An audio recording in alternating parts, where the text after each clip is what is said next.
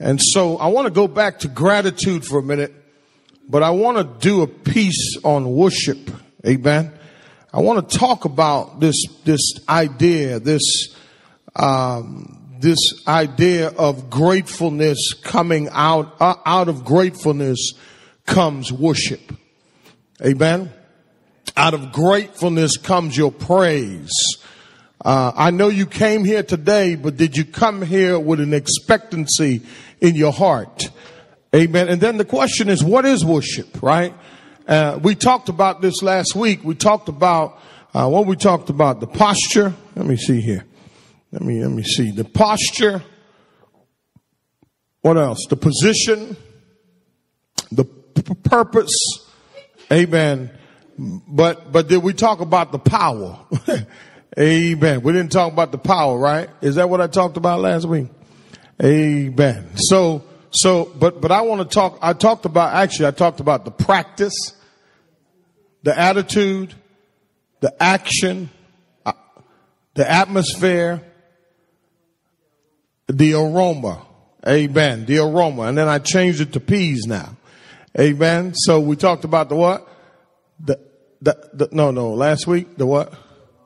the action, the attitude, the atmosphere, and the aroma. Do you know that when you walked into this church this morning, amen, you walked and you have stepped on holy grounds? How many believe that? Amen. You are standing on holy ground. So therefore your attitude, hallelujah, your attitude, some people think, oh, it's traditional. You know, certain things are done in church traditionally. But that's not tradition. What it is, it's the fact that we know the atmosphere that we're in, that we're in. Amen. And we know that we're in the presence of who? Of God. So whatever is going on in your heart this morning, whatever is going on in your mind this morning, amen. It is real important that you don't allow the enemy to rob you of the attitude, hello somebody, of worship. Amen. Now I told you, uh, last week we looked at the, at, at the man of the, of the ten leper that Jesus had healed, right? And one came back. Only one out of ten comes back. Oh Lord, that statistic is so low. Amen. Do you know only one out of ten persons will show gratitude for the things that God has done for them. Hallelujah. Because from the moment that things start working out, come on somebody. Now watch this. The other nine, they left, but watch it, but they didn't stay for the rest of the story. And so we, we find ourselves today talking about, amen, worship from a heart of gratitude. Amen. So let's pray and we'll, uh, we'll, we'll get into it uh, today. Um, I want to talk. I want you to know that there are different aspects of worship. There is what's called the art of worship. Amen. The art of worship. All right. Worship as entertainment can sometimes overpower worship as service rendered unto God. Does that make sense? Worship as entertainment can sometimes come across as authentic worship to God. And we got to be careful that we're not caught up in entertainment and we are substituting our what we call worship for our service to God. Now, when I say worship, what am I saying? When you think about worship, what do you think? What do you think about? Praising Him, sacrifice. Okay, what else? Uh, when we come together corporately, right? What are we doing? We're we're singing, we're we're praising, we're thanking. Right? And, and, and what I want to tell you as a believer that you and I should always be grateful, but out of that grateful, gratefulness should come some praise. Come on, somebody.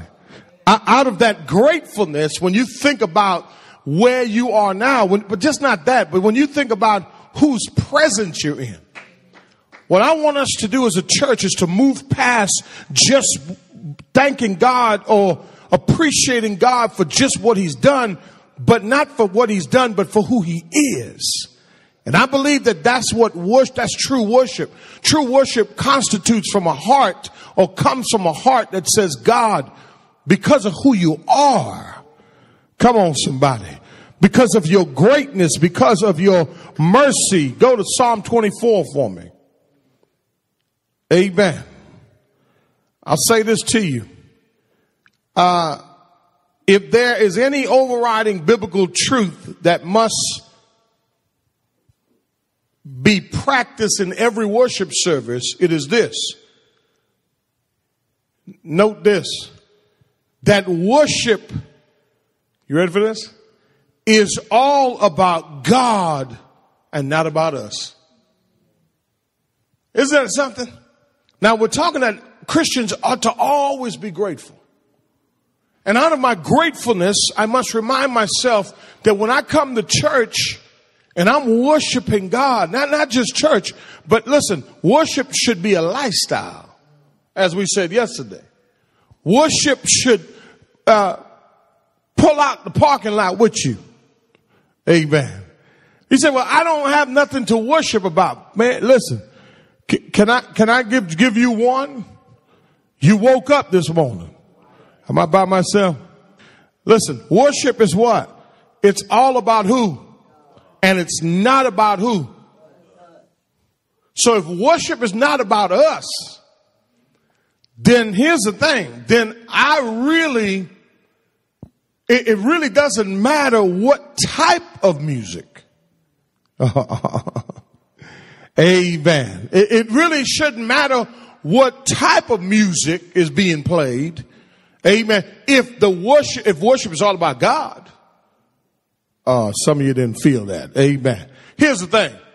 Whether I'm listening to contemporary, whether I'm listening to classical, whether I'm listening to old school, whether I'm listening to new school, the bottom line is that's what music does for worship it just enhances how I feel about God. About who? God. And I believe that for some of us, the Lord put this on my spirit this morning. Our church has to shift. Amen. In this respect, that we have to focus more on God in the worship setting. Amen. And not just about what I'm going through at this moment. Amen. A lot of people come to church because they want a word from God to help them through the week. But my question is, when are you going to just come and say, God, I just came here for you today. I just came here, what? For you. I came here to glorify you. I came here to give you thanks. I came here to adore you. I came, I'm talking about now the aroma. The aroma is what comes out of you and what you render unto God. I'll show you something in a minute. Amen. Watch this. Worship is all about God and not about who? Us. Amen. The preacher issues an imperative for worship.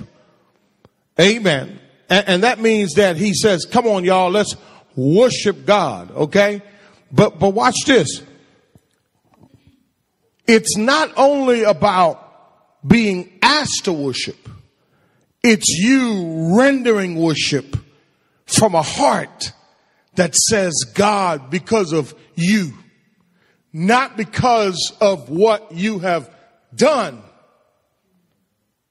but because of you. Can you imagine this?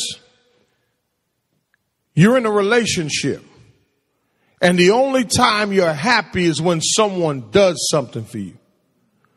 And that's the only time you have joy in the relationship. But from the moment that person stops being kind to you, or uh, just not just even being kind, just stop doing stuff for you, all of a sudden you start believing that the relationship is over. Are you with me?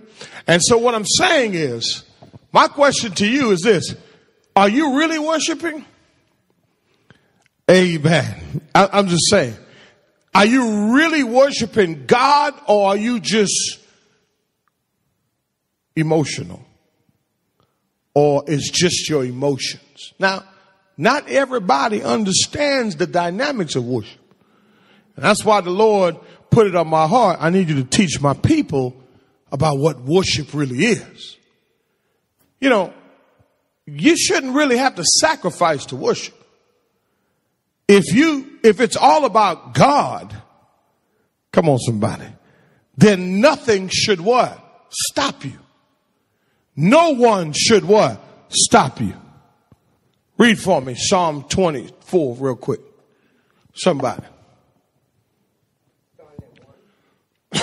yes. The who? The earth is the Lord's. And all it contains. Isn't that amazing how you have the earth and then you have the world? you know what he's talking about when he said world, right? Galaxies and yeah. Different, you know, this this earth is one part of the what? World. Come on somebody. So therefore if God owns everything, amen. No, not if, because God owns everything, he expects us to worship him. Watch this. Keep reading. For he has founded it upon the sea Mm-hmm. and established it upon the rivers. All right. Who may ascend into the hill of the Lord? All right. And who may stand in his All right. Now, now watch this. Ah. Now watch this. Who should ascend to the hills of the Lord? And who should come into his what? See, here's what I want to show you. Sometimes people get it all messed up. They come into the holy place not knowing it's a holy place. And what they render unto God, amen, right? It's not pleasing to God. The aroma is not there. Amen. Because, because for some reason now today in contemporary church today, they, oh yeah, you can bring your Starbucks in, you could, you know, you can, you know, you just come into church. Ah, you don't need to dress. You know, you just come with some flip flops on and you just, you know, it's, it's all good. You know, come as you are. I get it. Come as you are. But if you walk up in here in your night clothes, huh, come on, y'all. Come on, y'all. Come on. Who should, who should what? Stand. Look what he says. Who may stand? Who may stand in his holy, listen, we're in his holy place. Listen, he's not talking about your appearance. He's talking about your attitude. now, the appearance piece comes after you recognize, amen, that you are in the what? Presence of God. I want you to think about that every time you open those doors, every time you walk into the sanctuary, every time you walk down the hallway. I want you to think about, man, we're standing on holy ground. Why are we standing on holy ground? Because this is the place that we have designated, amen, to call upon the name of Jesus. Listen to this. Read real quick. Watch what he says. he who has what? clean hands. and a what kind of heart? Pure heart. A pure heart. who has not lifted up his soul to falsehood Uh huh. and has not sworn deceitfully. And have not sworn deceit. In other words, his character, his attitude. See, when you come to church, I want you to think, man, we're coming. I'm, I'm great. First of all, let's back it up for a minute. I'm grateful. And because I'm grateful, I'm respectful. Hey, hey, hey, hey, hey, hey. Not only am I respectful, but my attitude is one that when I come into the presence of God, I come here because I think, when I think about Him, think about Him. Now He says, He who has clean hands, pure heart, right? Who has not uh, spoke falsehood, lying, and all attitude, right? But watch this. Watch the next verse. Watch the next verse. Next verse is powerful. He says, he said, see, here's the thing, right? I don't know why you came this morning, but I didn't come to sleep. I didn't come, you know, for no other reason. I need a blessing. How many need a blessing this morning? How many? No, seriously, come on, y'all. Act like y'all really need a blessing now. Who may stand in his what? Presence. He says he shall receive a what? Blessing from the Lord and righteousness from God of his salvation. See, what happens? The God, God is in heaven, we're on earth. But amazingly, while we're on earth, the Lord invites us into his presence. But being in the presence of God is a privilege. And it ought to be an overwhelming uh, feeling upon your heart that says, God, here I am to worship you. And it was, and my worship was born out of, ready for this? Gratitude. You need to go back and listen to this on the podcast. It's born out of what? Gratitude. Go to Ecclesiastes for me. I think I may come back to that psalm, but I want to, I don't want to get hung up there. You, you do know where Ecclesiastes is, right? Yeah, go to Ecclesiastes chapter 5. Okay? And I want you to read for me verse 1. Now, let me say this.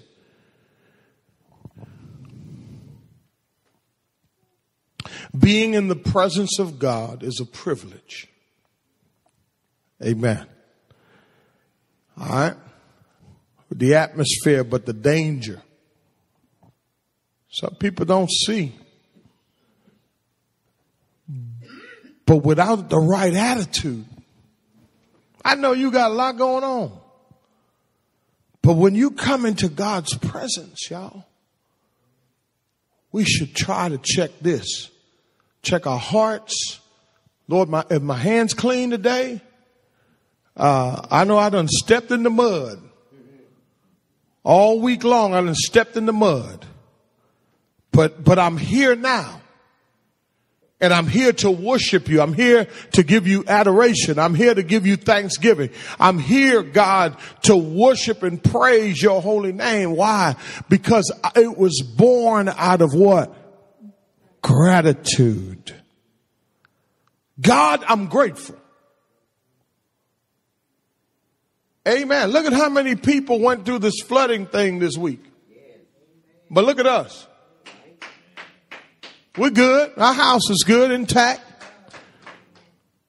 But my question is, how grateful are you? But when I come into his presence, I show my gratitude. The choir, the praise team shouldn't have to say, well, come on, y'all, let's praise God. Well, come on, y'all, let's, let's worship and let's, let's give God thanks today because he's been good. Now, we already know that. Tell us something we don't know. Share something with me that's new. because I already know that piece. And out of knowing that piece, I should show it in my outward expression. You know when the best time to praise God? When you're going through. But you know one of the hardest things to do, when, you know one of the hardest places to praise God? When you come through. Oh yeah, it's just, uh, whatever. I'll just do it when. Oh yeah, whatever. I'll go back to my old bad habits. Can I talk to somebody real quick? Go right back to my old habits. Yeah, yeah. I just because everybody is Come on, come on, come on. Come on, come on, come on. Come on, watch this. Guard your what? When you do what? When you go where? What did he say? Draw near to what? Rather than to offer what? For they do not know that they're doing what? Do not be hasty. Man, listen, in church, some people, they just don't get it. They talk crazy to people. Uh, you know, they get this little attitude on their shoulder. Seriously, this, this, this, this, God says, first of all, you're standing on holy ground. And your worship does not begin when you get here. Your worship begins at home when you're getting dressed. And then when you get in your car, and then, yeah, yeah, I know a lot of stuff has happened, but when you pull up in the, into God's house, He says, God, don't be hasty in words or impulsive in what? In what? Now listen, what we don't know is going on in your mind. Oh, shoot. You got a lot on your mind. He said, don't be hasty in your thoughts. I'm sorry, impulsive in your thoughts. To bring up a matter into what? In the presence of God. For God is in heaven and you are where? On the earth. Huh? On the earth. Yeah, you are on the what? Earth. Tell your neighbor the danger of worship. That's what that is. Look what he says. He says, For God is in heaven and you're on earth, therefore let your words be what? Few. For, for the dream, for dream, for the dream comes through much effort and the voice of a fool through many what? Words. When you make a vow to God, do not be late in paying it, for he takes no delight in fools. Pay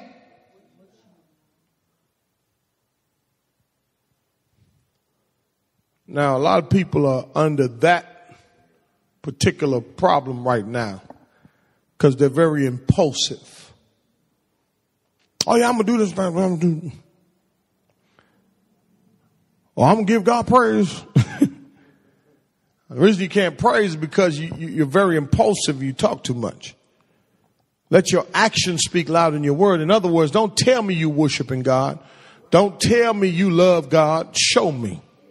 As a matter of fact, don't show me, show God. When you come into his house, your main focus should be him.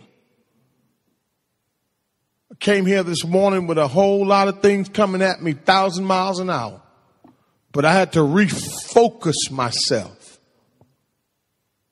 regroup myself on God, because I realized that I came here to worship him. I want to have a worship that's so authentic, that's so real, right? You, you know, you know, people that want to stay away from God's house, they have a worship issue, but they also have a relationship issue. Uh, uh, I don't need to go. I don't need to go. I don't need to go. I, no, I don't need to go. But, but listen, but watch this. But you were going. When things were going your way, you were going. When everything was working out, you were going, but now you're in the, in the mess. For some reason, it ain't as important to you anymore. But listen, I'm going to worship him as, uh, as long as I live, y'all. Until the day I die. When it gets rough, I'm going to praise him. When it gets tough, I'm going to praise him. When, when things don't seem like it's getting better, I'm going to keep worshiping and praising him because I realize that I'm in his house and what better place to bring my problems? What, but what better place to let out what I really feel? At some point, we should be all on the same page. Amen. Praising our God because of who he is. Look what he says. He says, when you make a vow, pay it, right? Verse five. It is better that you should not what? Vow than you should what? Do not let your speech cause you to sin and do not say in the presence of who? Who's the messenger? No. Amen. Uh, I was just playing. I, I was just playing, Pastor. Oh, uh, I made a mistake. Why should God be angry on account of your voice and destroy? Oh, what should tell your neighbor the danger of worship? When you walk through these doors, listen, how we act in God's presence is important. Write that down. Amen. Watch this. This, this word where he says, keep your foot simply means to guard your steps, to be careful about your conduct. Watch this though. But to exercise, write this down. To exercise restraint.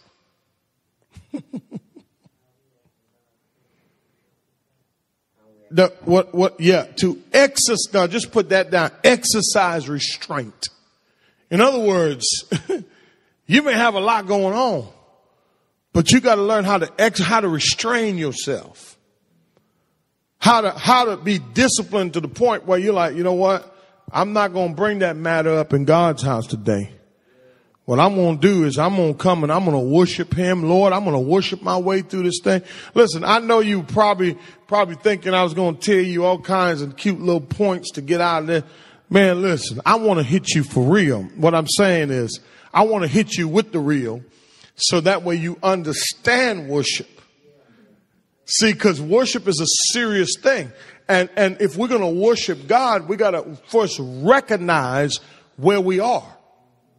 Now I already know you know this, and I know I don't want to be redundant, okay? But sometimes, right? Here go my, here go my next R. I don't want to be redundant, but every now and then we need a what? Reminder. What do we need a reminder of? Man, I'm in God's house. I done said some, man, oh my, I'm impulsive in thought, past a trip in the day. I mean? All of that. Go to Exodus 3 for me. Go to Exodus 3. And, and let me show you, let me show you something. You know, if, if God wasn't concerned, can I say something? If God wasn't concerned about how we come before Him, then, then, then guess what? He would have told us so. But oftentimes we fall into routine. See, we fall into, um, I'm here this morning. I'm, I'm, I'm, I'm, I'm in, I'm in, I'm, I'm, I'm just here. Pastor, you don't know what I had to go through to get here. I get it. I understand it because I had to go through some stuff too. But you'll never, have you, well, maybe. But have you ever seen me sweat? When I get here, okay, I make sure I put all that out there.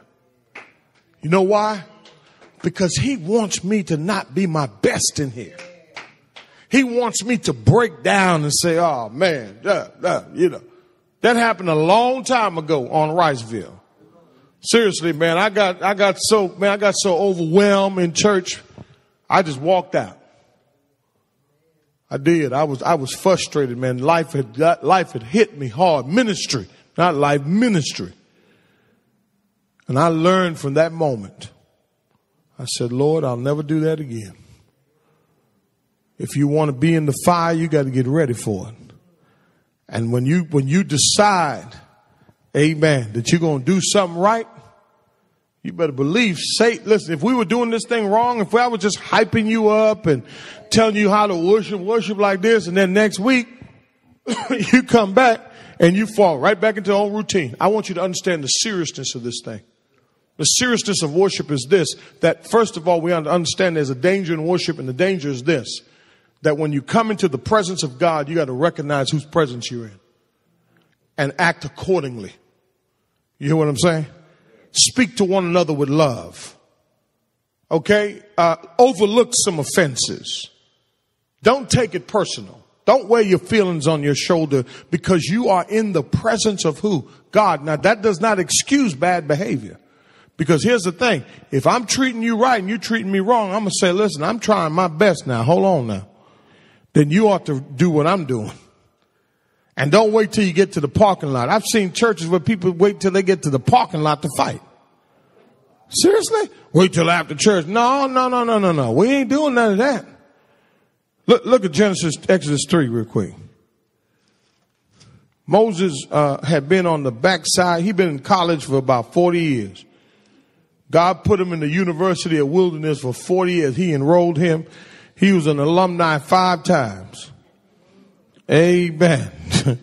All right. And, and, and, and here's the problem with Moses. Moses' issue was he had an anger problem. All right. Now, if you don't deal with your, then you got a problem. Amen.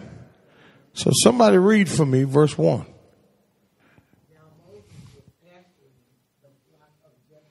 See what God was doing? God was, for those 40 years, He was teaching them how to pastor people and stubborn colored people, uh, stubborn people. That, you know, middle age, older people. He was teaching them for 40 years how to pastor. And the best way to learn how to pastor is to pasture sheep. Because the people were just like they were stubborn. They would stray off. So he had to get the pull them back in. All right. He had to train them to hear his voice only and not Joel Osteen and Steve Furtick and all them other guys. Come on, help me somebody but hear your pastor's voice. Because when you hear your pastor's voice, you will follow him and wherever he goes. So God was teaching them all that. Keep reading.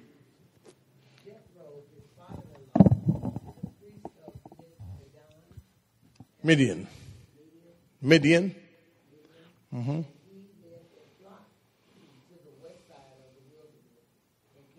West side. No, I'm just playing.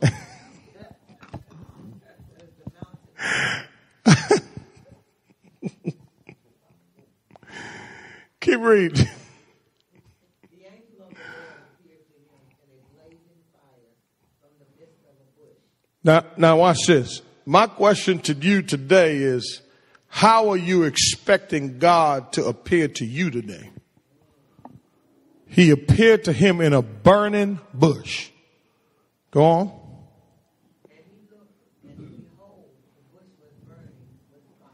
Yet,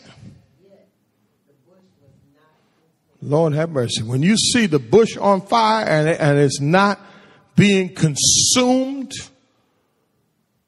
you know, that, that burning bush is symbolic of the Holy Spirit.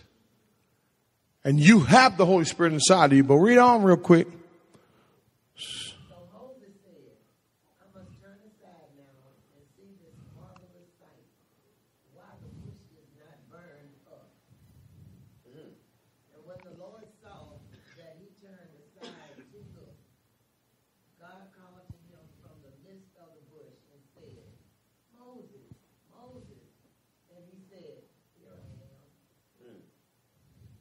So God called him.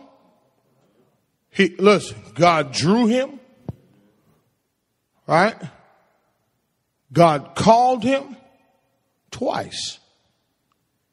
But watch the next piece. God invited him in his presence. But watch what he told him. Then he said, Do not come here. Do not come near here. Remove yourself. Remove. Cause see, wherever them shoes was taking him, where, where have your tires taken you?